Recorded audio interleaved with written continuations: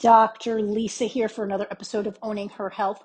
I have the beautiful Leslie Urbason coming to you from Spain and her work as a concierge, uh, concierge health coach, which takes it up a notch. She's not only helping you in a normal health coaching way, which for those of you who might not understand the difference between that and a traditional, let's say, uh, nutritionist, is that they're looking at more likely looking at your holistic, they're, they're holistic needs, they're more likely looking at your lifestyle, your um, total wellness in general, which is going to get into things such as what Leslie's specialty is, is looking at the energetics of food and her methodology, which we get into. But I want to um, say that her particular story, she's very well educated as many of us are, especially as we hit our stride in our careers in our late 30s into our 40s. Uh, but even even with that, one one of the discussions that is important and why I hold these owning her health discussions is because we just get into the conversation like two women do about just how how hard it is as parents working in a world where, where things are so fast and there's so much information coming out every day. It's hard hard hard to hard to know where to go because and I were talking, and I don't remember if it was in the pre-recording or the post-recording that's going to go into my private podcast subscribers, or if it's in this show. But um, we get into discussion about as much as we know. Sometimes you know where the science is lacking because maybe you know the traditional healthcare system, for example, is not using all the functional medicine that uh, you may learn if you're if you're looking at more of the modern medicine if you're not necessarily in the western model and you're bringing in things more that the naturopaths and the osteopaths and and and chinese medicine and and ayurvedic medicine things things like that cultures that valued the whole well-being right? People think about those centurions in the blue zones and understanding how important lifestyle is and and really comes down to our energetics. And so i'm, I'm really excited to bring this conversation of Leslie and I. She's uh, out of the University of Miami. She went into the military. So she was able to really, you know, one of the things people don't realize, at least in the American military, is you get access to a lot of training and education. You're working hands on with people, obviously, that are, are dealing with a lot of things. But there's also that structure that when you are visionary, like so many of us that are listen to this podcast and, and are doing the work in entrepreneurship, so many women especially go into entrepreneurships because we are big supporters already. We're big hearts. We understand, we see the vision enough we're so well educated now that we we see the gaps we see the gaps in leadership we see the gaps in relationships we see the gaps in enterprise and uh, that can be it, can be get really difficult to know where you can even work. I almost feel like entrepreneurship to bring education and information like this is a necessity or else you're just you're just never going to be a good employee. You're never going to be a good employee someplace where you're being forced to do things in a way that you personally feel is wrong. It's it's not in your moral code. So I'm not saying everybody should, you know, get themselves out of the hospitals or the schools or this or that. I'm just saying, understand that if you're taxed, if you're tired, if you're seeing your Gen Zs exhausted, it's because they, they're smart. They know what they're up against. And we're just going to have to, you know, do the curvy hustle, create the curvy hustle ecosystem, develop this alternative, like Buckminster Fuller said, you know, create, don't, don't waste time pushing on the oppressors. Don't waste time trying to educate the ignorant who just don't, you know, the people, it's working. It's working for the system, the system elites right now, the people in charge of our food, the people in charge of our our well-being supposedly our healthcare the people in charge of academia it's working for them. It's working the way it is but it's not working for most of the people and it's time especially the mothers or the leaders of much of the enterprise and the relationships and core leadership core values core drivers in the home not to say that the their partners, domestic partners, are not involved, but we all understand that um, when you're literally looking at someone's nutrition through your own nutrition. In fact, that as the belly guru in my um, first company was how I got so many overachieving, high achieving uh, professional women to start really taking care of themselves and working on their energetic cycles, which are different than men's cycles, was when they were pregnant or trying to get pregnant. That's why I, I focused on pregnancy year because I understood so many of us are, again, when we're young, we don't think we haven't seen the world enough. We don't understand how much ownership and power we have. We get so exhausted through motherhood or just, you know, forcing through our career. And by the time we hit menopause, things can be a disaster. So if you're suffering right now through menopause changes, uh, weight gain that you can't get rid of, or finding your body image is really getting challenged this is for you if you're a young gen z and you're and you're in the midst of that sort of I hate my body, you know, oh gosh, I think of myself back in my 20s and in my teens and I was fairly active, but I, you know, I I just remember that, you know, I remember the people that were having eating disorders and and the challenges and all of that. I I I oh, I so feel for you. This is for you. If you're a mother and you're struggling with yourself and making sure that you're staying healthy, not only from the food you're putting in, but all the nourishment that comes into you as well as what you're putting out. That's a part we get into that, that I don't think, I think we got into this for the open podcast. If not, it's in the, it's going to be in the private podcast for those of you who subscribe to the Curvy Hustler.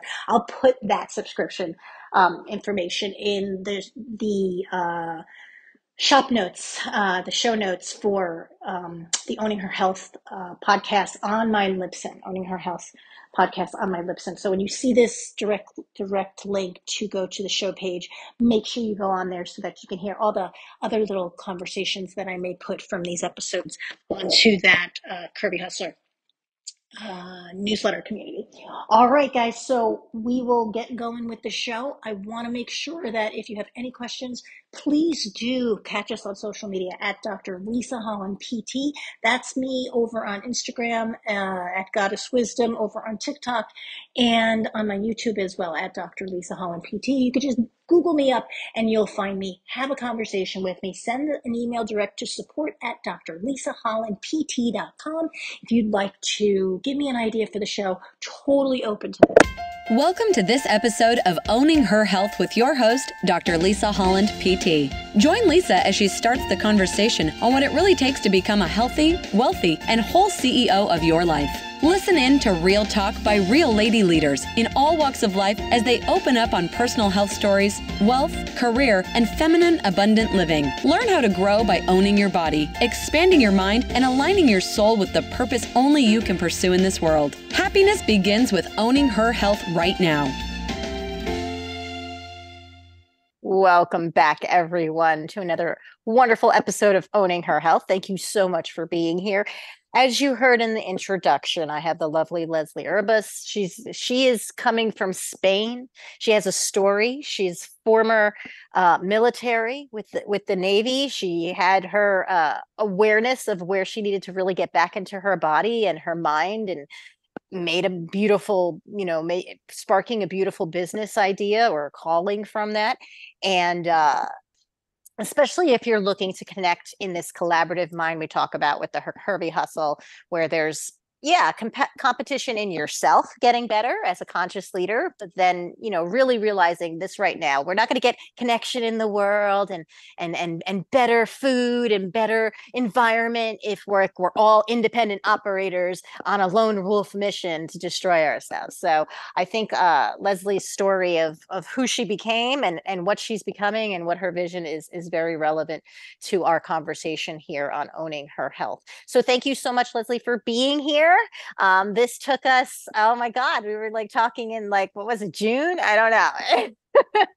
it took us a couple months to kind of actually sit here. I always say with powerful women when I when that happens that it's divine timing to some extent and also that the enemy is strong. So this is going to be a great conversation. Thank you Leslie for being here. Tell us a little bit from your view how did you get from okay i'm growing up i'm going into the military i'm doing that whole thing to now i'm in spain with my family and i'm you know doing some health coaching particularly around you know the reclamation i feel like of food and body image and getting off this idea of of, of manipulating it so much.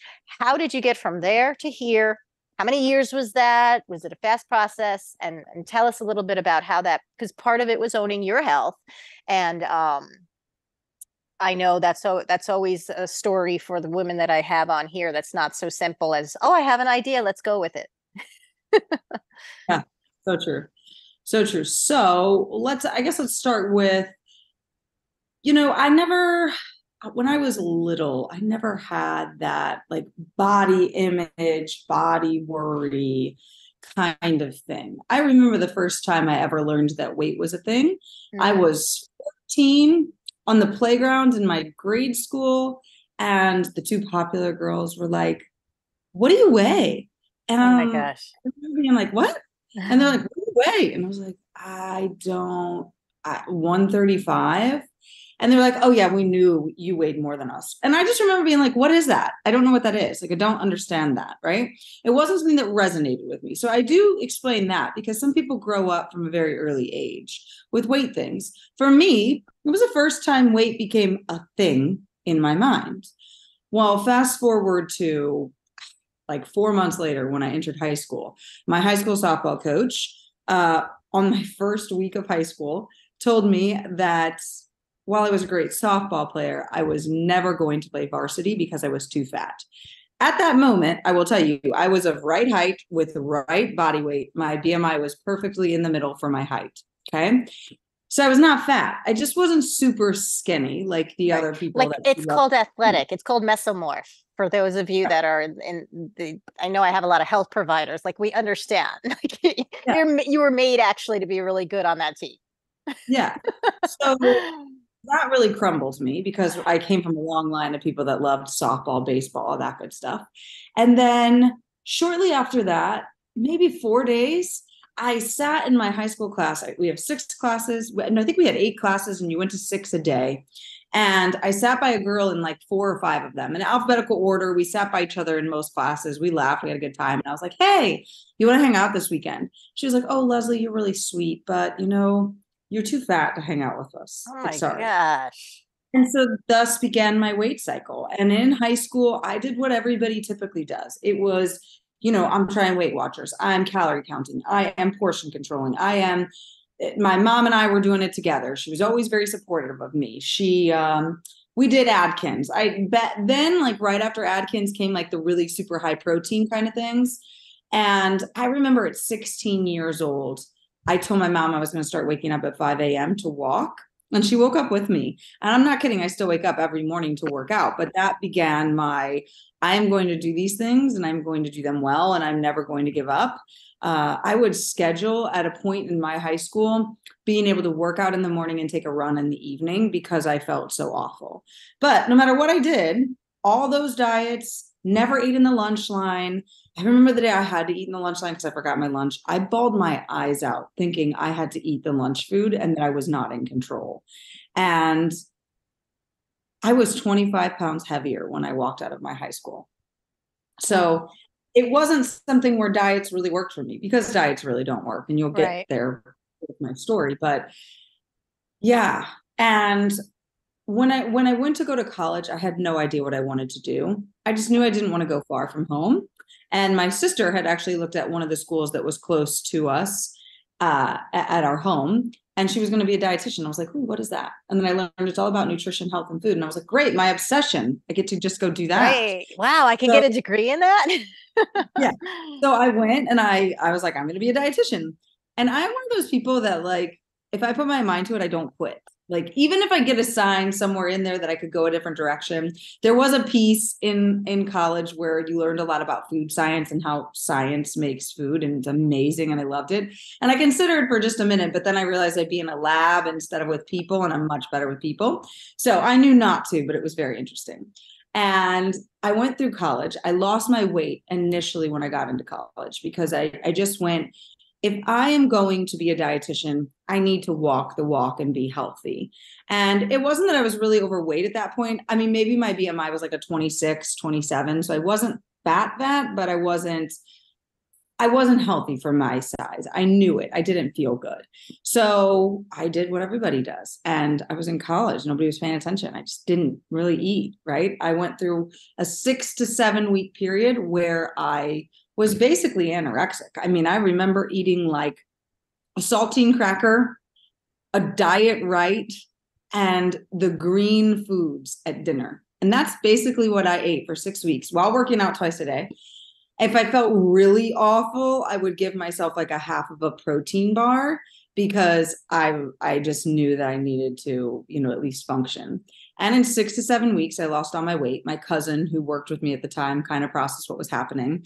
I denied to my mom, and I knew at that moment I had to change because I wasn't going to any sort of rehab or anything like that. So I just immediately changed. To this day, I have no idea how I did it for six or seven weeks. No clue. I, like I couldn't do it again if I tried anything right. like that. It's just like a, it was a hot minute. So I know what people go through, and I understand why it can overtake you. However, I got to the weight I wanted to, and I stayed there for a little bit. But then, you know, you you start drinking, you enjoy your time in college, you do other things, and I became the yo-yo dieter. I enjoyed oh. diet. If I was on the diet, I was skinny. Just like all my clients say, I know what to do. I'm just not doing it. Right. Just like a lot of the people that like resonate with some of the things I say is that I know how to lose the weight. It's that the moment I stop, I gain it all back. And that right. was me throughout my entire 20s. I was great at it. If the boyfriend and I were doing great, great. I was doing great. You know, if we were having, you know, some bad times, then maybe we were drinking too much and eating too much awful food. It was bad. Right. So I was all over the map in my 20s. And I was in the military, like you had said, you know, when I was in my internship, I just got this little email. Are you interested in joining the Navy as a dietitian? And I was like, yes, that's me. Very similar to how I became a dietitian. Oh, I'm mm-hmm. going to go do that. Right. Mm-hmm. Mm-hmm. my life story. Oh, I'm going to go do that. I'm going to follow. and, you know, I, I, can't ignore that when I was in college, my, I, I always imagined myself being an entrepreneur and not working for somebody. But I wasn't raised that way. I wasn't raised to do things on your own. That wasn't safe. That wasn't something I should do. So when I saw the military path, I was like, great, they'll give me the experience so then I can just go do whatever I wanted to do. But being in the military as a dietitian, I processed just how messed up health is. You know, like our government should be supporting the people that are fighting for us, and they just aren't. Like I was confined by so many rules and I was stuck in so many different things that I was like, I can't even really help this person, nor do some of them actually want to be helped. Like I right. can't deny as well, you know. You know, the military love it, but you you do get a lot of rules. Like you can't wear your hair a certain way, you can't do things with your nails, you know, you have to work out, you have to do these things, you know um, and you live and die by the rules. So if you don't really want to follow the rules, or the Navy or any sort of military or government like jade you in a way, you're just like a kid rebelling against it, right? So I had lots of people come to my office like, "Doctor made me come, so I'm here." Right. Okay, you want to talk? No, I just want to go. Okay, build your requirement on my end. I'm not going to sit here and talk to you about nothing, right? So I felt so unfulfilled, you know I'm serving in the military. I wanted to be deployed. Mm-hmm. The moment I got out as a reservist, they wanted to send me everywhere. I was like, well, now I have a kid and I don't want to go anywhere. Right. I don't want to do this anymore. I wanted to do it for eight whole years and you wouldn't send me anywhere. And now I have a baby and you're like, we are going to send you to some rural area overseas for two weeks to do this thing and then we'll send you back. And I'm like, no, no, I don't want to. You know, you missed your window. Uh, and I think that was a good thing because I, maybe I would have stayed in longer. But I saw so I, I, in my career, I started as a military dietitian, and then I went and I was a reservist, and I actually went back and did the exact same job I did in the military, but as a civilian. And doing that, there was just so many things. You know, I'd see that woman that was the spouse come in just broken because she needed to lose weight. Her husband didn't have to because he was super skinny. He got deployed a lot. He always wanted fast food when he came home. One of their kids is obese and the other one has food allergies. And she's like, How do I do this? How do I do this and not make 17 meals? And I'm like, I can't help you. I can only help you because the consult's for you. I can't address that kid's health issues or that one or your husband. I am not allowed to by law. And I'd like to say the main reason I got out was for that, but it was really for my own family. and in knowing that this calling behind my brain was just there. As time went on and I hit my 30s, I stopped dieting and really learned the four pillars that I teach to people of how to fully accept yourself and love yourself and re- release the shame and guilt and release the vicious cycling of diet is actually what you need to lose weight. Mm-hmm. And I started to see that as I became more clear with myself, the weight fell off just as easy as you undo your bra at night. I mean, it's so simple. Yeah. But, I, I, I'm sorry to interrupt. I just want to kind of point out a couple of really important things that, you know, for anybody listening, for them to sort of catch here.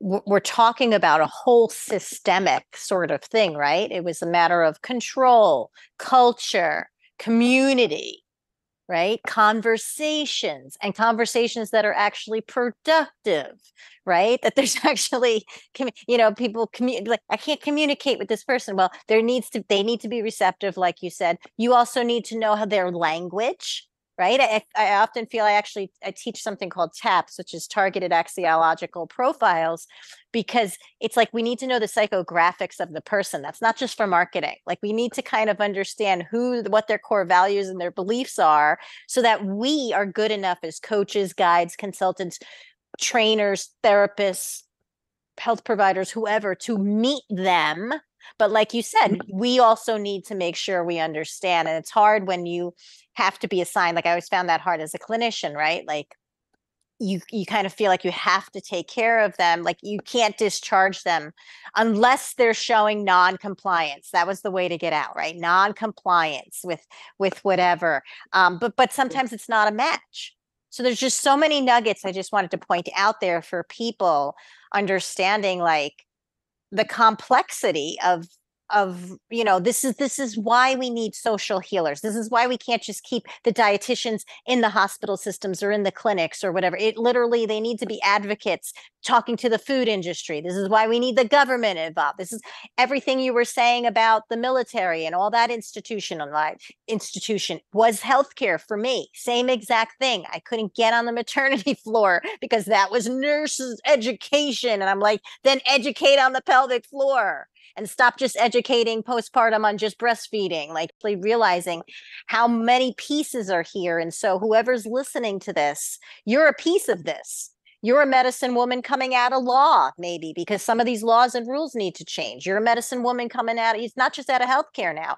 And those of you who are in the home trying to balance this all, whether you had a career or not, your career was going to be family or whatever, you're traveling around with your spouse for their career like you know you you had we need to start finding places where we're all connecting here and can start working together because it's going to it's going to take a village.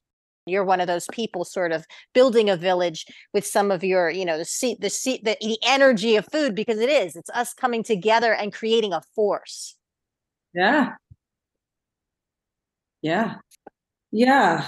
Yeah. I mean i think one of the biggest keys which you just kind of brought up i was listening to a podcast today that was really broadcasted to me from other moms. I listened to the first five minutes and when I was like, I am not a typical mom. This doesn't resonate. Mm-hmm. You know, mm-hmm. like I was like, this, this, is awful. Like, why do I want to like I could just feel the energy from it. Like I feel small, I feel yeah. angry. Like that victim, right? Like we're gonna hang out yeah. in victim mode.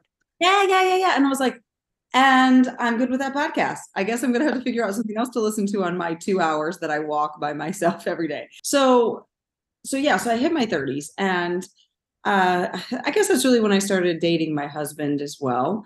And just kind of process like, this is not a life worth living. Things that, you know, I was still working at the Naval Hospital, still doing that. I was like, this is just not, I'm not teaching anything. But I, by law, I still wasn't able to teach the things that I was doing to myself. And I really resonate with with four things. And that is the first thing is uh, cater to you nutrition. And note right now, everything out there is like just like how you were saying, you were like, we need to band together to, you know, talk about like where we're getting our foods, the ingredients in food, stuff like that. That's what I mean by catered to you nutrition. See, people get these like you know, they get these tests done and they're like, oh, I'm allergic to this. So you avoid it.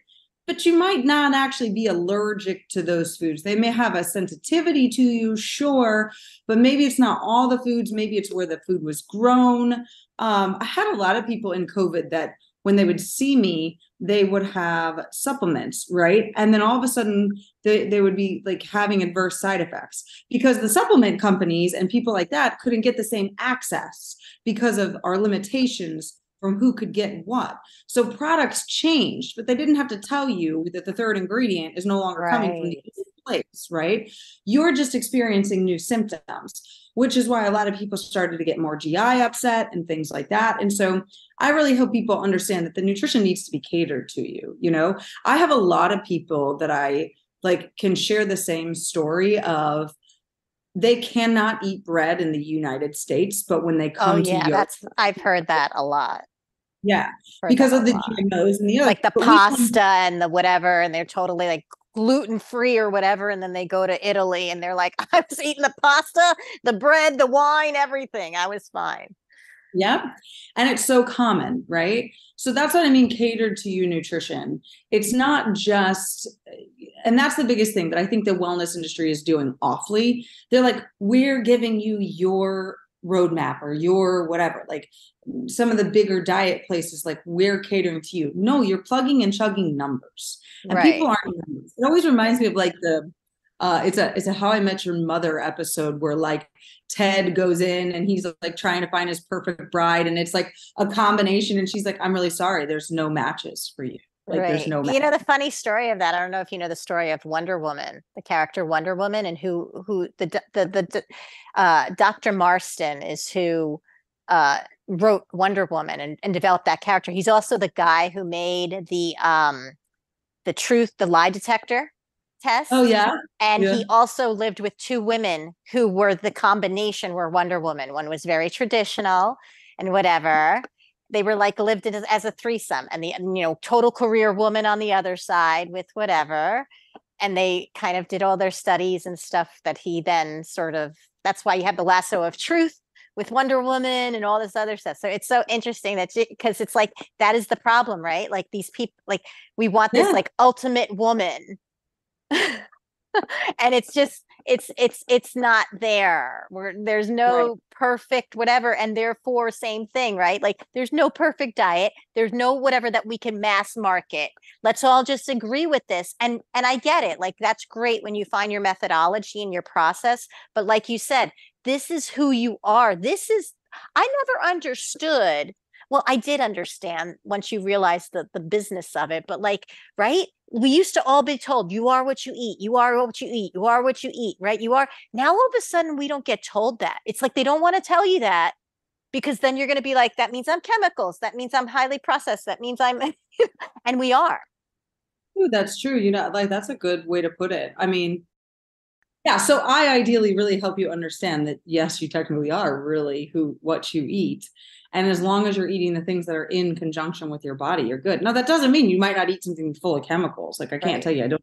Right. But if you can process it, because what I'm hearing from you is we need to get back to like a functional, you know, that's why I loved and kind of went towards yoga because the mm-hmm. Ayurvedic system that that used yoga was a medical system you know, yeah. I loved Chinese medicine. I loved reading about that. I loved reading about the Hermetics because they actually talked about spiritual. You know, like I, I loved looking at all these like ancient ancient medicines that are still in use, guys. Like allopathic medicine never really made sense when you really look at the history of it. I mean, it made sense, but it also was a business. It came in as a business. The heads of right. petroleum, the heads of corporations, all the monopoly board people are the ones that were on the boards of, of hospitals that kicked everybody out because food should have been part of that. Like, I, you know, like mm. it's hard to, like, why was not, why was nutrition? Like you have the dietitian, but why was it not nutritionists who were in there? The biggest thing that I think like your work could really help is so many people now that we understand which we should have really understood already because the yogis were telling us for thousands of years that the gut speaks to the brain and the mindset and your whole you know so many people i think could probably use a wonderful person like you. Yeah yeah i mean there's a lot of there's a lot of people that help with that as well um but agreed to that and so i actually oh, throw my husband under the bus again. I swear he never listens to any of my podcasts, or he'd be like, He's gonna listen to this one because he's gonna need to hear. it. uh, and it's not in a bad way, but my our son is a lot different of an eater than our daughter. Our daughter Mm. will basically eat whatever we give her, and she loves everything. There's occasionally days where she doesn't eat that much, but if she doesn't eat that much, she's not asking me for a bunch of snacks or something later. It's really because she's not hungry. And I pride myself on I have a five year old and a three year old who still eat in conjunction with themselves. And Mm. you'll see them ask for broccoli just as often as they ask for candy. And I don't have a problem with that because the more I praise one thing or another, the more likely they're that. Like, don't make But- food the villain, Correct. right? So, so part of the process that I teach is something called the secret energy of food and detoxing your kitchen. And my kids have that. Um, I actually learned a little bit about their human designs and found out that my son prefers cold food. And I was like, oh my gosh, this makes so much sense. You give my kid anything frozen, he will try to eat it frozen. Even if you're like, it really needs My to be niece and my niece does that. She's like, "Can I have like like like right out of the refrigerator, the freezer, like green beans?" Like, and she'll, Yeah. I get it. he will eat i mean and and he, if you give him if you give him the pint of blueberries they are gone he does not stop he just goes but i mean fruit is his like favorite food in the world and i don't have a problem with that but but there are other Mm. where he we've we've both noticed you know my husband's been worried like he's not getting enough protein he's not getting enough protein i was like this is the world telling you your kid needs more protein your kid three years and younger needs no more than basically these two fingers of food right? Your pinky and your ring finger of protein. That's really it. They don't need much more than that. Like we think they need these massive amounts of protein because we're eating like double the palms of our hands at a meal. We don't even need that much protein. But we're we're so conditioned to that that we think that the small portions we're giving our kids aren't good. And i finally kind of trained him on it and trained him out of it. Like he's understanding and my son is so good at telling food that he can tell if he doesn't want to eat it. And when my husband sometimes is in a bad mood and cooking aka secret energy of food detoxing your kitchen he won't eat certain things that he's cooked because he's intuitively knowing i don't want Yes. And so something that people are missing, and another reason why I think that people can eat more of the pastas and stuff in Italy is because those people love their food. energetics yes like we have to think about and so much of the stuff right it's it's cooked in water and we have science right we have that Mhm. whole uh dr emoto's book with all the right talking to the water and and looking at the crystals i mean we are Yeah. so powerful and the elements we are stars in fact Yeah. we're the dead stars looking back up at the skies one of the uh what I, I don't remember her name and i'm sorry i don't but one of these like astronomers uh, astrophysic women or something she has a quote out that she had said that like they asked her like what is what are we? What are humans? And it's like we are dead stars. And we are right? The iron the, the all the elements all the stuff that makes us up is what's fallen to the earth from right? Like a, a starburst kind of thing. And yeah we have this intuitive wisdom because obviously the universe does. Right, exactly. so that's that's a piece that people I think really just don't like they don't get. And then sometimes moms are like, my kid won't eat anything, they won't do anything. I'm like, well, how are you making dinner? Are you frantic? Are you full of anxiety? Yeah, so this is pillar two, the secret energy of food and detoxing Okay. your kitchen. Um, and detoxing your kitchen also has to do with like, I- I'll throw divorce in there. I normally talk about the grandma thing, but let's say you and your husband, you know, decide to get divorced. and Mhm. You get the pots and pans. Every fight you've had in that kitchen is in that pot. So Mm. I really teach people that your energy is still there. It doesn't mean you have to get rid of everything. There's certain things that we can do to clean up the energy in there, as well as who lived in your house last, you know? You know, we Yeah. move into other people's houses and the ovens and the things in the kitchen stay. So you're also reading that as well. Um, the third pillar has to do very much like what you're saying. Um, I use energy mastery work for people to really understand how their energy is clean up your energy provide that in different ways um, helping you become more calm helping your kitchen change helping the food change helping the way your body processes food change helping you to release that weight really fast and then the last thing is really that that neuroscience piece of I pride the fact that yes, my mom struggled with her weight, but I didn't know it until I brought it into the picture Mhm. myself from having the issues. And then I started to see it with her. But if your mom was somebody that struggled with weight from a very young age, or nowadays, I, I'm really waiting to see what will happen in the years that of like the moms that post the before and afters and make their whole life on, you know, the way they look. That's a really good point. Or even uh, what I'm seeing and I'm very concerned about is that they think they're really talking about health, but they're obsessed with the calories, the sugar grams, the this Yeah. or the that. And they're Well, speaking that new- into their child, you know, their children's environment. Like, I don't want you having too much sugar. But Yeah. they're not really explaining what types of sugar and, and they don't even understand the differences in sugar. Like there's so much ignorance going on in the home. I, I think that will produce one, more anxiety, and oh, two, Oh yeah, more I see it already. I see it in my seven-year-old niece, unfortunately. Yeah. I mean, that's where I pride myself on again as a mom because my kids don't have any of that. Like, I've heard my daughter say something like, like today we were trying to get churros for breakfast because they wanted to try this place, and I was like, sure, we can, and it was closed only on Thursdays. I was like, of course, the day we. the day, right? okay, what are we gonna do? Because we're on our way to school, and I was like pressed for time, so I couldn't stop certain places. And in Spain, things are not fast; they're slow, right? So I was like, I guess we're gonna cross the street and go to the gas station. She's like, so I'm not gonna have that healthy of a breakfast. I was like, not today, but you're gonna get nutrients, and it's gonna make you feel good because you're gonna choose your food.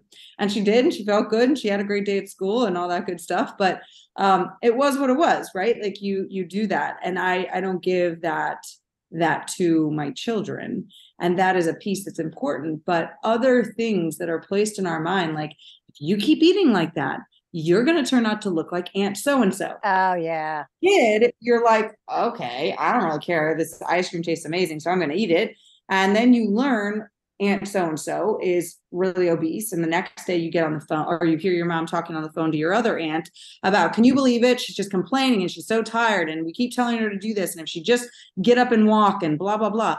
Well guess what? Now you put three together in your head without having a filter to know what to filter out so your subconscious mind is now like okay well, I eat the ice cream, so I'm like Aunt so and so. Aunt so and so is lazy, overweight, doesn't want to walk, doesn't want to do these things. So when you get to be older, guess what?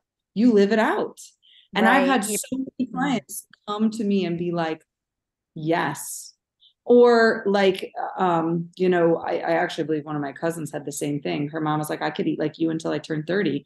I remember her turning 30 and gaining about 15 pounds. And now she won't eat half the food that she absolutely loves just to be the 15 pounds skinnier. Because I truly believe it has nothing to do with the metabolism or her turning 30. It has to do with the pattern. The pattern's been placed in my brain. Right. That's I why believe- I hate in women's health this whole emphasis on like the now the perimenopause conversation. And it was the Oh, right. menopause. Like how like oh. to me, I'm like, okay, the power of the word, people. Okay.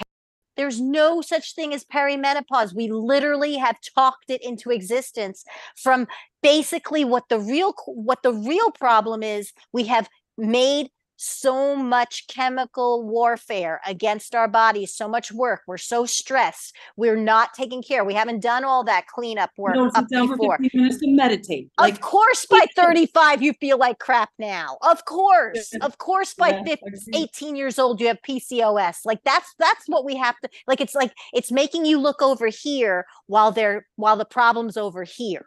yeah, the, the hormone thing though, it gets me too. I'm like, let me let me go with this. Okay. Um, let me just play into you that there is this thing as perimenopause and menopause, and it's what causes us to gain all the weight and blah blah blah. Let me play with you on this one. Then why are there skinny people still that go through it?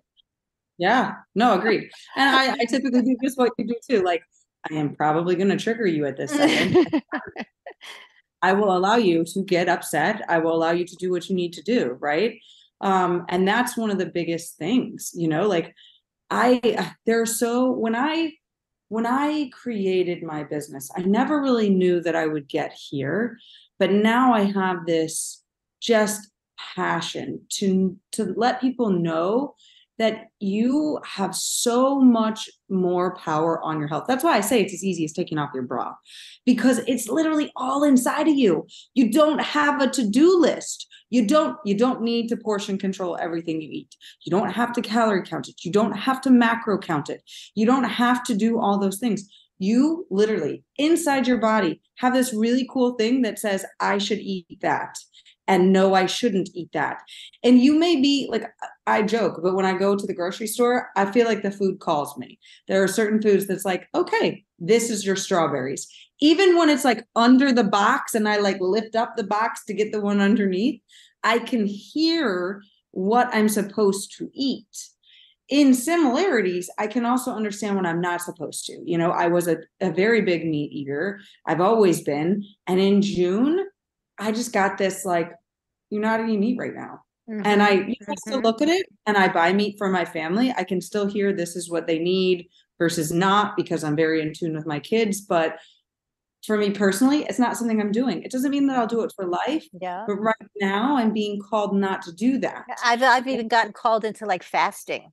I'm, I'm right, right now. I was actually called into fasting in July. I denied myself it. I probably should have like yeah. you know and then um august i realized yeah, truly appreciate your conversation. I want to wrap this up a little bit because we need to go to long format for women. That's that's one but this show's not yet quite there. Um so uh we've heard so much about sort of some of the things you wish you were telling your, your your younger self and you're kind of telling your kids which i think as as mothers is our responsibility to do right? Like like let's reparent ourselves by parenting through our kids, but not necessarily parent like our parents. Like, let's learn from the wisdom, not saying that they're bad people, just saying we should evolve. We should evolve with time. Um, if we were to flip that, let's say it's your daughter, your son, what are you hoping, you know, in 10 years, their world, what, or even the you in the future through your wisdom, what is she telling you? Through your success, through your vision, through the changes that you're hoping to make? Well, that's a great question. So, from my children's perspective, I truly, you know, to think in 10 years they'll both be in their teenage years, which is crazy. But I truly hope that they're so in tune with their body still that they're able to still say no to things that they know just aren't right for them at that moment like my son when he just doesn't eat meat at the meal. And when he you know pounds a pint of blueberries in 2 minutes like i truly believe that's his intuition. So i certainly hope they're that way and that they can empower other children and other teenagers. Like maybe you if your belly hurts it's telling you not to eat that you know and helping them to understand that you know whatever choice they're making doesn't make them a bad person to really remove the shame and guilt mm. and i mm. think for myself uh, i've done a really good job of removing shame and guilt and worry around food and i would love to have that continue to be a piece in my personal and motherhood life because while i've done such a great job that i can be like, okay, I just ate three pieces of chocolate without really knowing. Okay, I'm going to go onward. Doesn't matter, you know? And, and, for me to laugh about it, like I want to have that piece for myself in all aspects of my life that I'm continuing to allow the shame and guilt. I was raised Catholic, so shame and guilt is deep in my blood, right? Deep, deep in my blood. And a brown know? one at that. So I have the extra layer of the whole, right. you know. Deep, deep, deep like shame and guilt. And I, I sometimes see that and I'm becoming more and more aware especially in the morning, like when I wake up and something didn't go perfect the day or the night before, that I'm catching myself now faster in the shame and guilt in motherhood and in life and in my marriage. And I want it to be just like I laugh about the chocolate. So I'm hoping in 10 years from now, I'm not going to say hoping, I know in 10 years from now that I will be able to let that shame and guilt, you know, laugh off as well, especially because, like you say, you're reparenting yourself and if I remember my teenage years, I mean, I was at least a good teenager, and so was my husband, thankfully. But I was also the third, so I got away with way more than my older sisters. So I don't exactly know, you know. Right, and right. From from the triggers like my small children are having now and how I'm being triggered. I actually thought about that yesterday too. And I was like, oh my gosh, what triggers am I going to have when they're in there? I know. And then that forgiveness for yourself too, right? That layer of grace. Again, mm. a, a, uh, uh, a womb wisdom that I think we've sort of lost in the culture because we've kind of lost the, the idea of, of there being womb wisdoms that are separate from non-womb wisdoms is that Mhm. idea of grace and and and and graces are given you know the definition of grace is you may not deserve it as opposed to the perfectionism that sort of was taught in the church and things like that where like you need to like earn it or whatever believe me i so i truly appreciate you you know trying to take that wisdom into the next generation because that's the only way we're going to we're going to break these generational ties and we may not be perfect at it but maybe we shift enough maybe we do a little more are a little less ignorant a little less sig- sinning than our parents and then the kids can keep taking it right the kids can keep taking it so i Yeah. I truly appreciate the work you're doing. Where can we find you if this is interesting to anyone? I'll put it on the show notes. Where's the best place to connect with you now?